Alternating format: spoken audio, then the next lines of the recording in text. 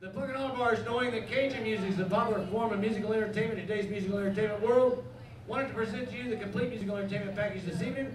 So we went down to New Orleans where we met lots of nice people, Nice people. drank lots of cold beer, Cold beer. ate lots of good food, Food. Seafood.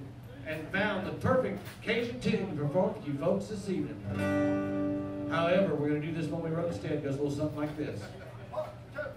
Let me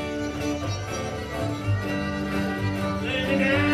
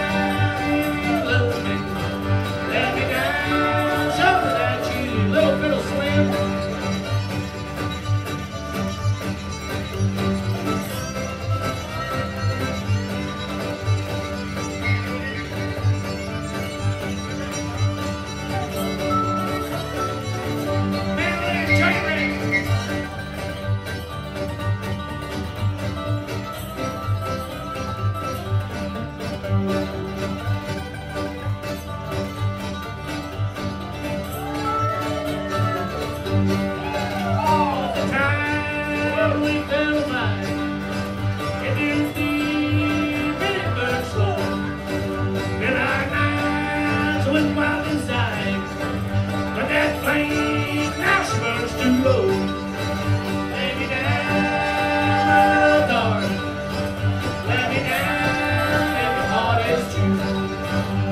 me down, you love me.